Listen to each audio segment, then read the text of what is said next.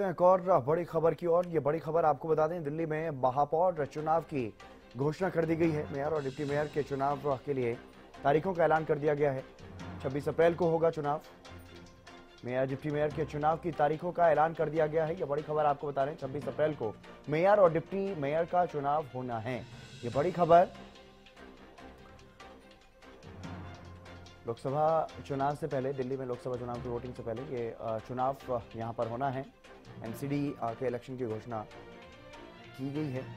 Mayor और deputy mayor के पद के लिए चुनाव होना है।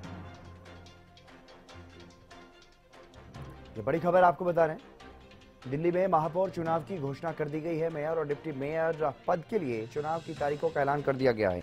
अपराजिता, हमारी संवाददाता लगातार हमारे साथ बनी हुई हैं। अपराजिता, क्या कुछ ज़्यादा जानकारी महापौर चुनाव की घोषणा कर दी गई?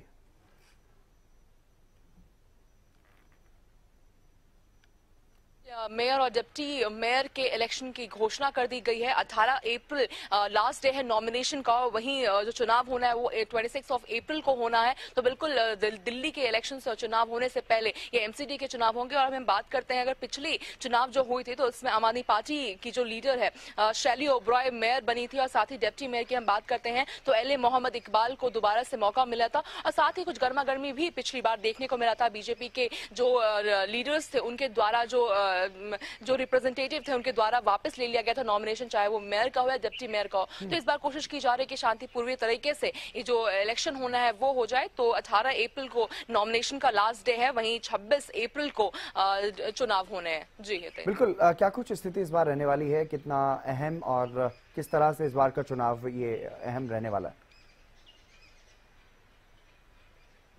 बिल्कुल हितेन बहुत अहम रहने वाला है इस बार का चुनाव क्योंकि बिल्कुल देखिए लोकसभा चुनाव से तुरंत पहले ये चुनाव होने वाला है तो बहुत ही अहम हो जाता है ये चुनाव लोकसभा चुनाव के मद्देनजर। और साथ ही देखिए बिल्कुल पहले जब दिल्ली के चुनाव होने वाले उससे थोड़ा ही पहले ये चुनाव होने वाला है तो काफ़ी खुद में अहम हो जाती है। और कोशिश भी की जा रही है कि बहुत शांतिपूर्वक तरीके से हो जाए क्योंकि देखिए हितेन अगर हमें याद होगा जब पिछली बार मेयर के चुनाव हुए थे तो काफ़ी गर्मा गर्मी भी देखने को मिली थी तो ये भी कोशिश रहेगी कि शांतिपूर्ण तरीके से ये तमाम चीज़ें हो जाए और लोकसभा चुनाव के मद्देनजर ये जो चुनाव होने वाले हैं, वो काफ़ी अहम रहने वाले हैं। बिल्कुल चलिए आप नज़र बनाए रखिएगा अपराजिता। तो दिल्ली में लोकसभा चुनाव से ठीक पहले ये चुनाव महापौर का इलेक्शन इसकी भी घोषणा कर दी गई है शेड्यूल जारी कर दिया गया है।